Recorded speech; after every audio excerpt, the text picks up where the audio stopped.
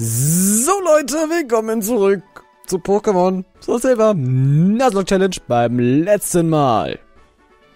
Seltsame Einleitung, ganz nebenbei. Beim letzten Mal haben wir den Eispfad durchquert, sind jetzt auf Route 45 und waren schon in Ebenholz City, wo die Musik auf einmal viel lauter wird, beziehungsweise kurzzeitig lauter wird. Und äh, haben gesagt, bevor wir uns jetzt hier an die nächste Arenaleiterin heranwagen mit Level 40er Pokémon, dachte ich mir, okay, erstmal Route, erstmal gucken, was finden wir hier so. Und dann entscheiden wir. Dunkelhöhle. Die können wir auch noch durchschauen, aber erstmal möchte ich hier einfach straight runtergehen. Einfach geradeaus runter, bisschen umschauen, bisschen kämpfen. Da sind nämlich noch einige Trainer, die verkloppt werden wollen. So ganz freiwillig. Mhm. Soll vorkommen. Äh, ich gucke doch gerade, wen ich vorschicken möchte. Denn wen möchte ich? Ich möchte, glaube ich, Nies in der Arena ganz gerne benutzen. Einfach weil sie Eisattacken hat. Und alternativ bräuchte ich noch ein Pokémon, das, ja, gegen das stärkste Pokémon der Arenaleiterin ebenfalls vorgehen kann. Deswegen werde ich Nies erstmal vorne lassen. Und, äh, ja, einfach hier runtergehen. Straight forward! Hallo Trainer. Wanderer, Kelly-Typ. So, alles vorbereitet. Zeig mal, wie du gut dein Pokémon trainiert hast. Ganz schlecht, musst du wissen. Tut mir leid. Also ich bin hier äh, mit sieben Ohren, weil ich ein ganz, ganz schlechter Trainer bin. Musst du wissen. Das ist echt, echt kacke. Also ich habe nur verloren. Mit sieben Orden. Auf jeden Fall. Und deswegen wirst du auf jeden Fall erstmal von mir voll aufs Maul kriegen. Oh, einmal Stärke. Weil wir jetzt die Attacke haben, können wir sie auch mal einsetzen. Könnte sogar kein One-Hit werden. Wobei, wir sind elf Level drüber. Nice, Dankeschön. Nett von dir. Dankeschön, das war äh, äußerst äh, One-Hit. Ja, stehst du? Und ja, mein Georock, das wird ganz schnell das zeitliche segnen, weil ich ihm eine Kaskade ins Gesicht drücke. Was für eine wunderschöne Attacke. Und ähm, wahrscheinlich One-Hit. Alles andere wird mich wundern, denn hier gibt es ja auch noch nicht die OP-Robustheit, die mal wie ein Florusgut wirkt, der einfach mal sämtlichen One-Hit, sämtliche One-Hit-KOs verhindern kann. Und deswegen sind wir auf der sicheren Seite, wenn wir hier einfach so ein bisschen durchsweepen. Ähm, ich hole noch eine Stärke raus, in der Hoffnung, dass es für ein One-Hit reicht. Selbst wenn nicht, du bist ein Kampf-Pokémon und mit deinem Stab-Attacken wirst du mir nicht sonderlich viel Schaden machen, da ich ein Elektro-Pokémon bin, beziehungsweise Nies ein Elektro-Pokémon ist. Ich weiß nicht, ob dieser Crit wirklich notwendig war. Ich glaube fast nein, weil wir einfach mal acht Level drüber waren. Das wird mich jetzt schon wundern. Oh, schon verloren, ja. Das hast du gut bemerkt, mein lieber, lieb, Freund. Ja, äh, du hast verloren. Das ist kacke, ne? Das ist ein scheiß Gefühl. Und wir kriegen einen roten Pokémon, Georock. Wir haben schon einen Kleinstein, wir wollen keinen Georock. Und deswegen sage ich Tschüssikowski, mein Lieber. Und zählte mal ganz fix das Zeitliche. Dass sich ums Silber handelt, hätten wir auch, glaube ich, Teddy Ursa bekommen können. Was auch ziemlich cool gewesen wäre. Wobei ich mit so Standard-Normal-Pokémon nicht so viel anfangen kann. Keine Ahnung, ich bin, ich bin, ich mag ein paar von denen extrem gerne. Teddy Ursa ist verdammt süß. Ursaring habe ich noch nie so wirklich leiden können. Äh, Visenio habe ich mir eins zu eins gezüchtet, weil ich das Vieh einfach das Vieh. Ich bin heute auch unglaublich nett, ne? In dieser Aufnahmesession, das ist... Äh, oh Gott. Das ist ein Asttrainer gewesen. Den hole ich dann beim nächsten Mal noch nach. Wir müssen diese Route sowieso mehrmals ablaufen, also... Hm. Jacke wie Hose. Und Top-Trank, der ist doch auch schick. Steht er mir nicht ausgezeichnet, dieser Top-Trank? Hm. Ähm... Ja, genau. Ne, wie Senior habe ich mir so als gezüchtet, weil ich das Pokémon einfach unglaublich putzig finde. Das ist wohl eins der süßesten vollentwickelten Pokémon überhaupt. Und, ähm ja, da dachte ich mir, come on, muss sein, ist so ein Fun-Pokémon mit dem Wahlschall, kann man dann super spielen, was abgeht wie so ein Schnitzel. Initiative technisch, natürlich kann man es auch mit einem Wahlband spielen, op optional. Wobei es dann halt meistens outs geoutspeedet wird, weil es einfach nicht so schnell ist. Hat, glaube ich, eine 90er Unit Base wie Senior. Aber es ist trotzdem toll. Und Garadax finde ich außerdem auch ziemlich cool, wenn ich so gerade drüber nachdenke. Diese Start, diese Anfangs-Normalstarter. Mit Radfratz Radikal konnte ich nie so wirklich viel anfangen. Äh, mit, äh, dann halt, ja, Visor wie Senior habe ich schon dazu gesagt. Dann halt äh, Zigzags Garadax, beide auch tolle Pokémon. Du bist ein Meryl und bekommst eine Stärke ins Gesicht. Äh, das könntest du sogar überleben, weil ich weiß, dass Meryl und Azumarill recht bulky sind. Ähm, nein. Das war bestimmt... Alter, Nies, was ist denn heute mit dir los? Hier am Rumcritten wie, so ein, wie so eine ganz große, ne? Wow. Äh, ein Shillock. Sehr schön. Hm, was kam danach? Äh, Bidisa, Bidifas, Bidifas macht mir bis heute noch unglaublich irgendwie Angst auf eine gewisse Art und Weise, weil das einfach verdammt Shotshot-Spam! Weil es einfach verdammt creepy aussieht. Irgendwie, dieser, dieser, das ist so ein Pedo-Blick. Wenn, wenn, ihr, wenn, ihr, wenn ihr eine Bidifas in die Augen schaut, was denkt ihr euch dabei? Ich denke nur so, what the fuck, was hast du erlebt, Junge? Kann doch nicht gesund sein. fünfte Gen war es Yorklef, halt dann halt die Weiterentwicklung äh, Terribug, Bismarck. Allesamt keine schlechten Pokémon. Ah, Schutzschild, du Arsch. Ähm, allerdings habe ich mit denen noch nie so viel anfangen können und was war es eigentlich? Genau, genau, und das ist von der... Ich krieg keinen Fall! Dieses scheiß Schutzschild! Es zieht's nur in die Länge, so. Äh, und dann war es halt in der sechsten Gen, äh, Skoppel und Grabbit. Und Grabbit habe ich mir auch schon eins gemacht, einfach weil es mit Kraftkoloss echt reinhaut. Also man könnte sagen, 50% der Anfangs-Normal-Pokémon mag ich ganz gerne. Ja. Noch. Warum hast du zwei Shirk? Die sind so nervig. Ne? Deswegen sind sie nervig. Deswegen, weil sie irgendwie alle dieses scheiß Schutzschild drauf haben und dann auch noch spammen. Ah, okay, das ist die, die NPC-Logik. Kennt man ja. Wenn ein NPC ein Schutzschild drauf hat, dann wird das gespammt, bis da keiner mehr steht. Beziehungsweise bis die AP aufgebraucht sind. Oder halt jede zweite Runde und dann manchmal halt auch jede Runde. Äh, aber irgendwann gehen sie alle zu Boden und wir tragen den Sieg auf eine glorreiche Art und Weise davon. Ich mag es ja solche Sätze so schön auszuschmücken auf, auf verschiedene Arten und Weisen. Du bist doch ein Kampftrainer, ne? Schwarzgurt, mein lieber Schwarzgurt. Ich glaube, dann, dann lassen wir mal Damien vor. Äh, was ich mit Rex machen werde, keine Ahnung, irgendwie, der, der zieht einfach nur mit. Da müssen, den müssen wir wieder mal ein bisschen mehr einbinden, wenn sich mal die Gelegenheit bietet. Sollte sehr, sollte schon noch kommen, also. Ich bin nur mit dem extrem vorsichtig, weil es einfach zwei Vierfachschwächen hat. Es hat Flug und es hat Feuer als Vierfachschwäche und das macht mir halt auf irgendeine gewisse Art und Weise Angst. Und du bist ein verdammtes Maschok und Maschok kann tödlich sein und das ist ganz gut, dass ich jetzt hier nicht mit einem anderen Pokémon eingewechselt habe. Puh. Das war jetzt irgendwo anstrengend, aber das sollte ein One-Hit sein. So oder so. Egal in welchem Universum wir sind, One-Hit ist One-Hit und bleibt One-Hit. Tschüss, mein liebes Maschok. Und, äh, ja. Dankeschön. Für die EP. War von notwendig. Du willst meine Handynummer, das weiß ich. Ich wusste, dass der irgendwas Besonderes macht, dieser Trainer. Nein, ich werde sie dir nicht geben. Du kannst mich mal! Hm. Wieder zwei Wege. Ich mag das nicht. Da muss ich hier so oft runterlaufen. Hm. Kleinstein. Ich glaube, ich setze meinen Schutz ein gleich. So. Wir fliehen einfach mal. Wir rennen ihn davon, ne? Vor allem. Der heißt auch im Englischen You Run Away, oder? Oder im Englischen heißt es auf Flucht Run. Oder? War das nicht so?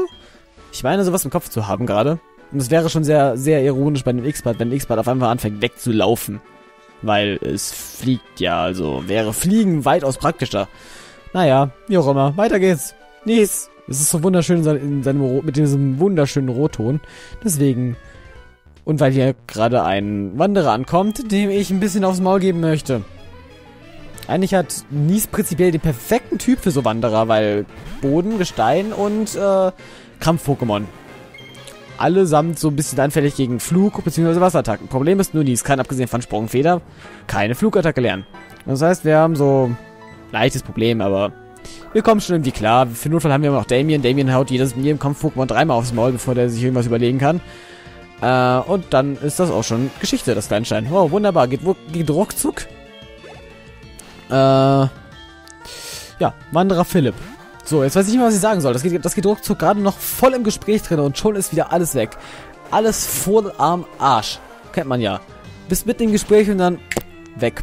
Nichts mehr im Kopf, alles tot und kriegst, hast eine Blockade im Hirn. Hab ich häufiger, gerade weil ich aufnehme. Das ist immer so ein Moment, wo ich denke, so gut, jetzt habe ich ein Gesprächsthema, ich laber und laber und laber. Und geh und was. Geschichte. Ähm, und dann fällt mir mittendrin einfach nichts mehr ein und dann denke ich mir so, oh, das, das, das, worüber rede ich denn jetzt? Das ist ja, es kann auch gut sein, dass ich über diese Themen, über die ich jetzt hier rede, schon 15 Mal geredet habe. Das interessiert mich nicht. Ich löffel dann einfach über irgendeinen Schwachsinn, der mir gerade so durch den Kopf schießt. Ist das Wetter nicht schön draußen? Es wird dieses Jahr extrem früh kalt. Keine Ahnung, was soll ich dazu sagen? Es ist äh, alles seltsam. Das Leben ist seltsam. Du bist seltsam. Und du bist den anderen Weg nicht gelaufen sind. Das wäre nämlich ein verschwendeter Weg gewesen, weil da war kein Trainer. Ich hoffe nur, dass ich nachher alle Wege irgendwie nochmal zusammenbekomme, dass wir hier nicht 15.000 Mal den gleichen Weg runterlaufen. Hallo, Dichter. Wie geht's so? Willst du einen Eiszahn kriegen? Beiß dir mal einen Kopf ab und zeig mir deine Füße. Wissen ja immer noch nicht, wie dick das Füße genau unten oben so aus, also wie, wie dick das Unterleib aussieht, soweit, weil das ist ja immer nur vom Kopf her zu sehen. Ja, genau. So. Und ein Dictri. Das äh, könnte sogar schneller sein als ich. Ich weiß, dass Dictri verdammt schnell ist. Oder es haut einfach einen Tiefschlag raus und hat damit eine Prio. Das geht natürlich auch. Das ist äh, natürlich nicht verkehrt, eine Prioritätsattacke rauszuhauen. Wobei der Tiefschlag natürlich eine tolle Attacke ist. Es ermöglicht vielen, vielen Pokémon, das anzugreifen und kann echt reinhauen mit seiner 80er Base. Siehe bei Mega Kangama oder Kangama allgemein oder bei fällt mir der Name nicht ein, Sisurio oder hab ich noch einen Pokémon, das Tiefschlag drauf hat? Ich weiß es gerade gar nicht. Mein Banett hat noch Tiefschlag, genau, da war was. Wobei Barnett in der Megaform ja Strolch hat, was äh, quasi alle seine Attacken in meinem Fall. Also ich habe Schattensturz, Tiefschlag und dann noch Abgangsbund und Irrlicht. Was sobald es einmal gemegert ist. Welche Route war das? 46. Ich meine, ich habe auch noch nichts gefangen, aber mal schauen, was wir hier bekommen. Ich habe außerdem gerade eine Aprikoko elegant umgangen, wie ich soeben gemerkt habe. Äh, ein Aprikoko gelb. Das ist äh, eine Aprikoko, eine Aprikoko gelb. Entschuldigung. So, man muss es ja richtig aussprechen. Ähm, ja, Tiefschlag? Wen hab, auf, was, auf was habe ich noch einen Tiefschlag drauf? Ich glaube, das war's tatsächlich schon. Ich habe aber noch kein Cisurio. Das heißt, ich habe tatsächlich erst einmal Tiefschlag, so, oder zweimal Tiefschlag. Hm, okay. Äh, hier lang? Oh, einen Doppelkopfstoß machen, dann geht das eventuell ein bisschen schneller. Vor allem, weil die recht schwach sind. Komm, wir lassen mal Rex, äh, Rex vor und Paddis, weil die beiden... Weil Paddis ist vom Level technischen her noch nicht so hoch und... So. Rex kann einfach mal ein paar EP gebrauchen, einfach weil es manchmal auch äh, kämpfen darf. Wobei ich nicht glaube, dass wir hier sonderlich viel EP bekommen, weil die hätten wir schon eher hingekonnt, da wir die Dunkelhöhle ja schon halb erforschen konnten. Sobald wir, was war's, Stärke hatten? Und, mm, oder Surfer, was auch immer man zuerst bekommt von den beiden. Ich glaube, es war Stärke. Und ich sehe ein Feuer-Pokémon. Meh. Meh. Will mir nicht gefallen. Will mir gerade wenig gefallen. So, aber das sollte allerdings reichen, um irgendwas zu one-hitten hier. Einmal eine Matschbombe abgeschossen. Voll mit der Bombe. Und dann ich überlege gerade, wie diese, diese, diese Matschbomben-Animation in echt aussehen könnte. Aber so real. Weil irgendwie ist es ja eine Bombe. Das heißt, es muss da irgendwas explodieren. So, wenn man es jetzt wortwörtlich nehmen sollte. Und das wäre schon extrem krass, wenn auf einmal so, so, wenn so ein Matsch anfliegt und voll weg, voll weggesplash und so. Ähm, ja, genau. So viel zu dem Thema. Und wenn ich hier gerade so einen Miraplan in der Gegend rumstehen sehe, muss ich ja noch dran denken, wie in der ersten Gen. Ich sehe gerade mein 3DS. Leuchtet so ein bisschen rot. Ich hoffe, das hält noch bis zum Ende des Parts. Bevor er anfängt zu blinken. Ansonsten muss ich ganz kurz einen Cut machen anschließen. Mein Ladekabel ist sogar in Greifweite. Mit meinem Fuß zumindest. Ähm. dann sollte das irgendwie gehen. Äh, in der ersten Gen war ja Käfer tatsächlich noch sehr effektiv auf Gift und andersrum auch. Also es ist, glaube ich, der einzige Typ gewesen, die so aufeinander Effektivität haben. Das war fast ein sehr schöner deutscher Satz, wenn ich so drüber nachdenke. Ich könnte mir gerade im Fuß mein Ladekabel hochholen. Ah, ich hab's schon in der Hand. So geht das ganz nebenbei und ich hoffe, ich äh, reiß nirgendwo nebenbei ein Kabel raus. So. Und damit steckt mein Ladekabel in meinem 3DS. Wunderbar, so schnell geht's. So schnell kann das gehen. Ich glaube, wir sind ganz unten. Das heißt, wir können wieder hochfliegen. Juhu. Juhu. Damien, das Fliegen darfst ein bisschen durch die Gegend flattern. Ob wir jetzt genau 15 Minuten machen, weiß ich noch nicht, weil hier gerade auf dieser Route ist extrem viel zu tun und ich würde gerade schauen, dass wir im nächsten Part dann auch was anderes machen als nur Route erkunden. Das heißt, wir gucken, dass wir jetzt die Route an sich abgehen und dann gucken wir im nächsten Part vielleicht in die Dunkelhülle rein. Irgendwie sowas. Und ich könnte gerade heilen gehen, einfach weil. Weil Bananenbaum. Oh yeah. Das war jetzt Totschlagargument hoch 1000. Hm, ich bin ein bisschen skeptisch wegen der kommenden Arena, muss ich sagen. Bisschen, bisschen sehr skeptisch. So. Wenn ich an 40er Pokémon denke, ich glaube 38, 38 und 40 waren die Pokémon. Ich glaube, es hat zwei Dragonier und ein, ein Seedraking. Seedraking weiß ich. Ich meine, das war Level 40 oder 41. Und ganz ehrlich, ich bin leicht skeptisch. Damien ist dem auch erst Level 35, sehe ich gerade. Ich dachte, der, der levelt so schnell weg. Dachte ich gerade. Ich dachte, der wäre schon viel weiter. Schutz wirkt nicht mehr. Das ist äh, schön. Jetzt lassen wir doch mal Paddis ein bisschen kämpfen. Unseren lieben Geist. Und unseren lieben Schutz, den lassen wir auch noch arbeiten, weil der soll uns davor schützen, vor wilden Pokémon, von wilden Pokémon angefallen zu werden. Ui, ui. Äh, so. Hallöchen, wie geht's denn dir so? Das ist, äh, was ist deine Philosophie, wenn es darum geht, Pokémon groß zu ziehen? Ähm, der Stärkste überlebt. Survival of the Fittest. Und aus jedem Pokémon kann man natürlich auch was rausholen, das ist natürlich ganz klar. Und Taubos, wow! Jetzt wird's ganz exklusiv, über 25 Leute. Was ist los mit eurem Levelschnitt? Das ist doch nicht normal. Und dann geht's halt wirklich so, das ist, ist immer ein bisschen, ist, der Levelschnitt in Pokémon Soul Silver und Pokémon Heart Gold ist einfach für den Arsch. Weil dann sind so die, die normalen Trainer irgendwie mit Level 25 unterwegs, also 27 oder sowas. Unter 30 und der Arena-Leiter ist einfach mal Level 40. Beziehungsweise dann kommen noch andere Trainer, die dann einfach viel, viel stärker sind. Und das ist einfach von der Levelverteilung äh, in meinen Augen nicht sonderlich gut geregelt. So, und äh, ganz viele P. 35, äh, vollen Respekt, irgendwas in der Art. Sehr schön. Weiter geht's, Pattes. Wir, wir, wir finden noch ein paar Kämpfe für dich. Da oben können wir noch ein anderes mal hin. Das laufe ich mal die Seite ab. Ich meine, auf der anderen Seite war nichts mehr, was wir noch hätten erkunden können. Zumindest nichts mehr großartig. Deswegen, andere Seite. Hm. Juhu, weiter geht's. Ein Nonix. Bei Wanderer Günther. Level, wow, 30. Ey, wir haben ein neues Höchstlevel erreicht in der normalen, äh, bei den normalen Alltagstrainern. Auch eine schöne Bezeichnung, Alltagstrainer. Ganz lustig wird's, so, ganz lustig wird's, äh, auch in der Kanto-Region dann mit den Leveln. Und da man da ja gucken muss, wie man, musste, wie man das mit den Leveln macht, weil man ja in Kanto tatsächlich die Möglichkeit hat, äh, die Trainer nach einer freien Reihenfolge zu besiegen. Also da kann man sich ja, also die Arenaleiter, da kann man sich ja frei aussuchen, möchte ich jetzt erst Misty machen oder möchte ich jetzt erst Major Bob machen oder keine Ahnung. Ähm, daher sind die alle ungefähr auf dem gleichen Level. Die haben da, haben da zwar schon Unterschiede, allerdings keine solchen Unterschiede, dass man sagen würde, boah, das ist jetzt hier Meilen, sondern es sind dann halt fast so fünf Level ungefähr. Ähm, glaube ich, fünf oder zehn, Maximum zehn. Zehn wäre schon sehr viel. Fünf oder, ich glaube mehr fünf waren es als zehn, aber ich bin mir nicht mehr ganz sicher. Es war auf jeden Fall, lagen sie alle eng beieinander. So um den 55, 60 Bereich, meine ich, waren das. Ist anfangs halt noch sehr anspruchsvoll. Dafür nachher sind die Trainer, wenn du alle Guten wirklich abläufst, wir haben außerdem gerade Geld gefunden, möchte ich gerade nochmal kurz erwähnen, wird es ein bisschen, hm, träge. Kämpfst du? Die Kampf zu deinem Begriff ist ein, äh, ein gigantischer Kom Kampfkomplex östlich von Oliviana City. Hm, also wenn du meinen Rat möchtest, ich denke, du solltest da frühestens, äh, frühestens mal vorbeischauen, wenn du die Pokémon-Liga erobert hast. Okay, können wir uns mal überlegen.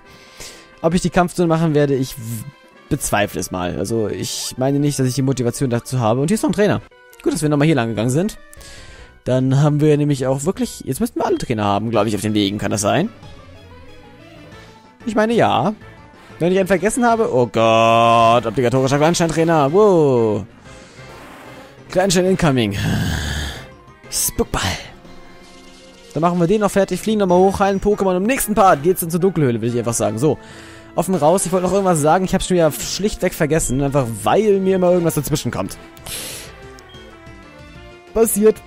Passiert. Shit happens. Äh, dann muss man eben da weitermachen, wo man aufgehört hat. Ich sag mir immer, wenn ich etwas vergesse, dann war es nicht wichtig. Ganz einfach. Wenn etwas vergessen wird, dann ist es nicht wichtig gewesen. Wenn es einem wieder einfällt, dann weiß man, okay, es war doch wichtig. Ähm, aber ja. Das finde ich eine schöne, eine schöne Philosophie so in der Art, einfach, einfach zu sagen, wenn du es vergessen hast, da kann es nicht so wichtig gewesen sein. Höre ich außerdem auch von vielen anderen Leuten gerne mal. Wenn ich irgendwas sagen möchte, ey du, ich wollte noch irgendwas sagen, ich hab's voll vergessen, ach, dann wird es nicht so wichtig gewesen sein. Sag einfach Bescheid, wenn es, wenn es dir wieder einfällt. Äh, Problem ist, es fällt einem meistens nicht wieder ein. Kennt ihr das eigentlich auch? Fällt mir gerade so ein.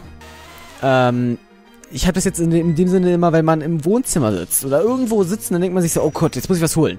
Dann läufst du in meinem Fall halt hoch in mein Zimmer, dann stehe ich oben im Zimmer denk mir, fuck, was wollte ich holen?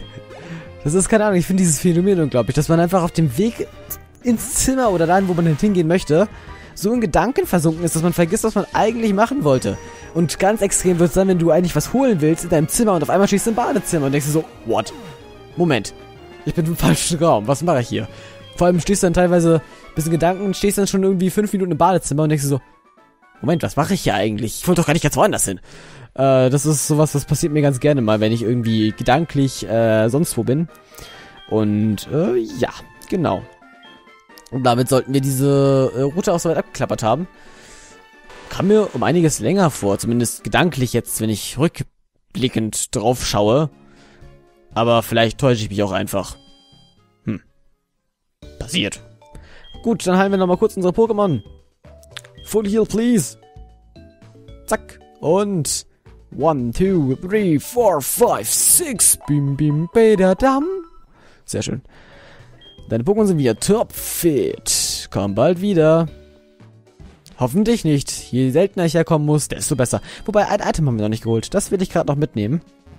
Wobei ich dann wahrscheinlich nochmal hochfliegen muss, wegen Stufen. Die ja oh, viel zu hoch sind, um da nochmal hochzuklettern. Ach komm, jetzt darf ich hier ernsthaft mal für die paar Zentimeter Schutz einsetzen. Ich habe aber gerade irgendwie keine Lust, dass mich wilde Pokémon anspringen, also machen wir es einfach mal. Mehr als schaden kann es nicht. Hier ist nichts. Hier sind an meinen Augen außerdem auch viel zu viele Brücken.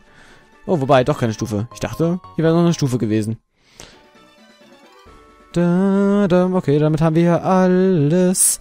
Wunderbar. Und dann würde ich sagen, Leute, wir haben keinen Blitz. Fällt mir gerade ein. Oder haben wir Blitz? Das würde mich zumindest jetzt sehr wundern. Da war gerade ein sehr schöner Grafikfehler, wenn man genau hingeschaut hat. Auf am unteren Rand war auf einmal Licht. Ähm, erstmal im Pokémon-Team schauen. Ich guck mal gerade nach, ob wir was haben. Ansonsten gehe ich nämlich offscreen. Nein. Nein. Nein. Nein. Nein. Nein. Dumm gelaufen. Dann muss ich kurz gucken, ob wir eine TM noch da haben. Wenn wir keine VTM Blitz mehr haben. Doch, haben wir noch. Sehr schön. Das müsste doch die Toxa sicherlich lernen können. Nein. Gut, dann hätten wir das auch geklärt. Der Toxa kann anscheinend keine solche Attacke lernen. Dann würde ich sagen, ich überlege mir was bis zum nächsten Part. Guck vielleicht nochmal ganz, ganz kurz nach, was wir auf der Box haben, was das lernen könnte. Also, würde ich sagen, das war's für heute von Pokémon Soul Silver Nuzlocke Challenge. Wir sehen uns beim nächsten Mal. Bis dahin und ciao.